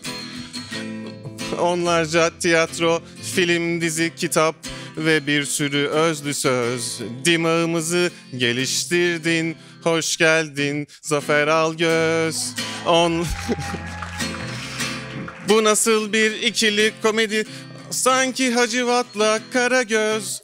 Tüm herkes konuşur bu ikili. Can Yılmaz'la Zafer Algöz. Burada konuşulan da burada kalır. Tamam tamam sana söz. Sen anlat biz dinleyelim. Güldür bizi Zafer Algöz. Konuşunca bırakmayız mangalda köz. Ama henüz çıkaramadık şu programa bir dansöz.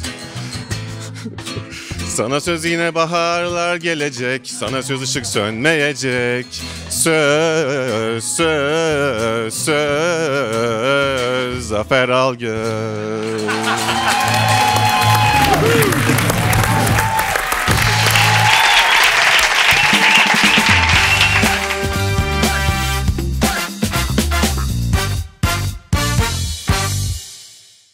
Seni peki kamera arkasında görebilecek miyiz Yok abi? abi şu anda çok erken. Ha şu an ama bir gün yani. Bir gün görebileceğiz. Bir gün olabilirse tabii. Var Yani mı öyle bir heyecan? Hiç öyle bir hevesim yok şu Yok, anda. Bütün derdim oyunculuk yapmak. Ne güzel. Yani hiç kamera arkasında durayım bir de şöyle yapayım böyle yapayım hiç düşünmedim. Peki hayallerinden biri de Bursa altyapıya girip Beşiktaş'a transfer olmakmış. Evet yıllar önce öyle bir idealim vardı. Peki Beşiktaş sevdası ta oralardan mı Tabii geliyor? canım. Ama işte bir kademe kademe gitmen lazım ya hiç olmazsa Bursa Spor altyapısından sonra Tabii canım müthiş biz hikaye. niye Beşiktaş'a gitmeyelim falan diye deli gibi top oynardım hakikaten ben. Yani İyi oynar mıydın abi? çok. Nerede? Mevki neresi? Defans oyuncusuydum ben. Aa, Evet. Ya sağ bek ya stoper oynardım ama gizli de kaleciydim. Yani mesela acil durumlarda bazen oyuncu değiştirme hakkınız biter ya. Biri sakatlanır, kaleci sakatlanır. Kaleci alman gerekir. İşte o panter benim yani hazırım. Panter. Tabii. Peki son zamanlarda böyle bir e, özellikle son 2-3 senedir neye gülünür neye gülünmez gibi bir şeyler dönüyor ya. Hani Evet. onun şakası olur bunun Evet. şakası olur. Mizan bu kadar genel bir tanımı var mı sende? Bende genel bir tanımı yok. Çünkü e, yani bu işi yapan herkes kendini çok komik olduğunu zannedebilir. Ben çok farklı bir şey yapıyorum diyebilir. Ya da birileri ya bu çocuk yeni, bu çocuk şahane diyebilir ama ben hep şunu söylerim. E, seyircinin hükmü kesindir. Temize gitmez. Yani eğer seyirci gerçekten o adamı beğeniyorsa ve gidiyorlar ve dolduruyorlar, izliyorlar Evet. yani bir şekilde. Onun için de seyircinin önemli olan takip etmesi, uzun süreli takip etmesi elbette. Çünkü e, Cem Yılmaz'dan sonra, Cem Yılmaz gerçeğinden sonra Türkiye'de böyle bir arayış başladı biliyorsun. Yaklaşık 25 sene, 26 senedir Cem Yılmaz var. Evet. Ama kimse kusura bakmasın ben Cem'den daha komik adam görmedim kendi şeyinde, branşında. Yeni nesil demeyeyim de işte yeni e, bununla gerçekten odaklanarak uğraşan bir grup insan başladı. Var. Aslında bu işin sırrı bence hikaye anlatma becerisi. Anlatabiliyor muyum? Yani e, hepimizin başından komik şeyler geçiyor. ya da komik bir fıkra duyuyoruz. Diyorsun ki ya çok komik fıkra ama dur ya şunu sen anlatsana o daha iyi anlatıyor. İşte o o anlatsın, o daha iyi anlatıyor dediğimiz adamlarda işte o yetenek oluyor. Yoksa iş sadece siyah tişört, siyah pantolon arkaya da kırmızı deri koltuk koymakla bitmiyor iş yani. Çünkü kolay iş değil. Tek başına çıkıyorsun. iki, iki buçuk saat insanları nefes almadan kendini izletebilmen lazım. Güldürmen lazım, hüzünlendirmen lazım. Dikkatini burada toplaman lazım. O anlamda Cem Yılmaz'ın yaptığı çok kıymetli çünkü dünyada öyle bir örnek yok. Dünyadaki yani stand-up işini yapanlar belli köşelerde konuşuyorlar. Yani adam mesela 6 tane konusu var. O hafta ne gündemdeyse onun üstüne adam yapıyor. Cem'inki öyle değil o serbest. Yani bir çeyiz sandığı var. içinde dolu dolu hikayeleri var. Oradan çıkardığıyla doğaçlama olarak insanlarla öyle bir etkileşim kurarak iki, iki buçuk saat performans göstermek çok zor iş. Biz iki kişi bile yoruluyoruz yani yaparken. E, tek Evet, kişinin yapması çok daha büyük sorumluluk süre. tabii.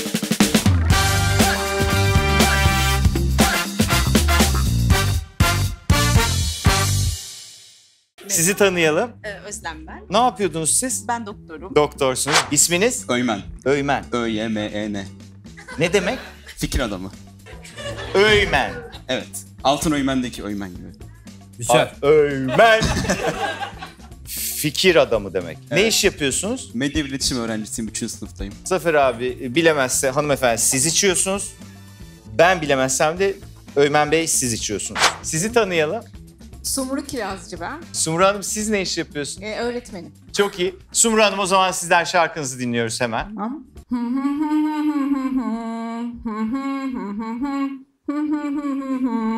İyi misiniz?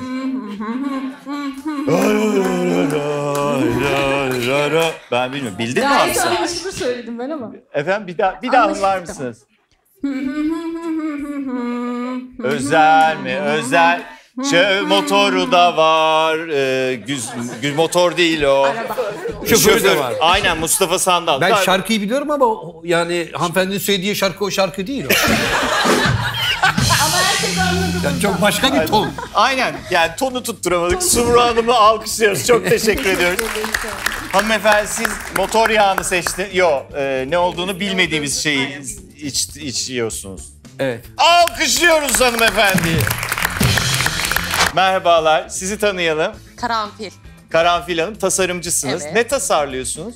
Genelde pareo ve kimono tasarlıyorum. Aynen. Ne diyor? Pareo. Anlamadım. Tabii, Genelde Ben de kadınlara- giyerim onları. Efendim? Pa- pareo ve Pareo kimono. ve kimono. Evet. Ha çok güzel. Buyurun. Ne ne ne ne ne ne ne ne ne ne na nay o mu? O. Söyle. Maalesef. Bayağı. Ta. Bu siz askerlik yıllarından kalma bir türkü diye tahmin edin. Evet. Aa evet. Nasıl bilemedik be? Ya o ufak bir Hocam dans. buyurun, bilemedik. Afiyet olsun hocam. Alkışlıyoruz Karanfil Hanım'ı. Çok teşekkür ediyoruz. Motor yağını içiyor. Sizi tanıyalım. Merhabalar, İrem benim ismim. İrem Hanım siz ne yapıyorsunuz? Ben işe alım uzmanıyım. İşe alım uzmanısınız. Evet, kurumsal firmaların işe almak istedikleri İK personelleri seçiyoruz. biz. Bordro yapmıyoruz sadece onu alın diyoruz alıyorlar Aa bir şey. daha havalı. Güzel. Ne kadar? İşsiz vardı galiba. Aynen bir tane antrenör Ee, var. Elimizde. bekliyoruz biz. Yapabiliyor musun? Antrenöre de iş. Antrenöre bakarız ya. Yabancı diliniz var. Bizde en önemlisi Rica İngilizce. ederim ya. Denizli diyor ya. Beni de bir diziye bağlar mısınız acaba? Zafer Bey'in dizi problemi var. Evet. Beyefendinin antrenör. Ben Bilal'e kart vizit veririm. Kart vizit vermeler, işler karıştı. Buyurun. Buyurun. Peki. Mirkelam. Tavla, tavla beni. Tavla, salla pulları, zarları Zarları. diyor. Afiyet olsun. Hanımefendiyi alkışlarken hanımefendiyi de alkışlıyoruz. Prensesin gözyaşları. Şu an içtiğinizin adı. Ben Sude Artıran, MEF Üniversitesi'nde Sude psikoloji okuyordum. Ertem. Evet siz e, psikoloji okuyordunuz. Evet. Aynen. Eski de konservatuar mezunuyum aynı zamanda. Nereden? Biraz da kaygılıyım. Tüm medeni cesaretimi topladım. Detone olur muyum, o olur mu, bu olur mu? Hepsini saldım. Şu an hazırım. Her şey olabilir. Bizim için en ufak bir sakıncası yok. İnşallah olursunuz. Cayır cayır Umarım böyle olmaz. bok gibi hımlarsınız ki hep beraber güleriz. Olur. Yani onunla ilgili en ufak bir kaygınız olmasın. Tamam. Buyurun efendim.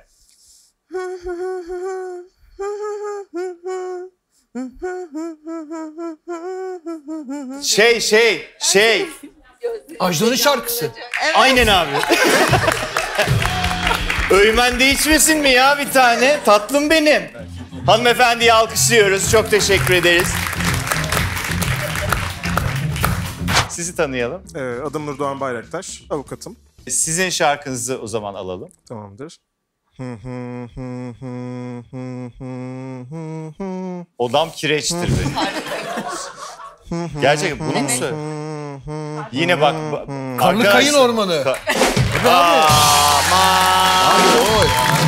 Ben de ne diyorum ya. Gerçekten mal çıktık. İç iç. İç Allah kahretsin Ömer iç. Afiyet olsun. Tabii ki Zafer abi kazandı. Ee, siz de bizden e, stüdyoda bir etkinliğe ikişer tane davetiye kazandınız.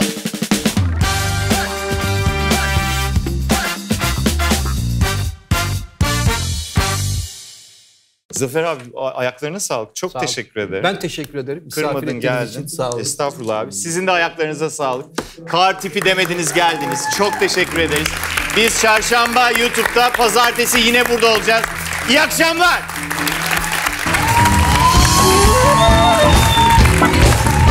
아, 물.